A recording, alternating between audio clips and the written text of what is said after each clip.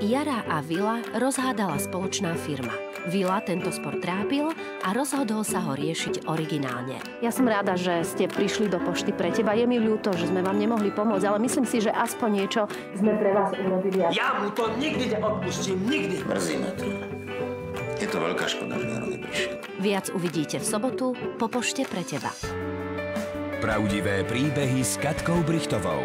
V sobotu o 21.20 na jednotke.